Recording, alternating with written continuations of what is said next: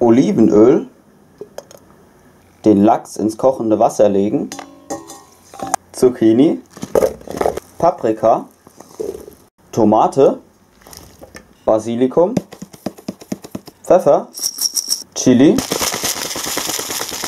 Spinat, Pinienkerne und das ist Joe Wicks Linen 15.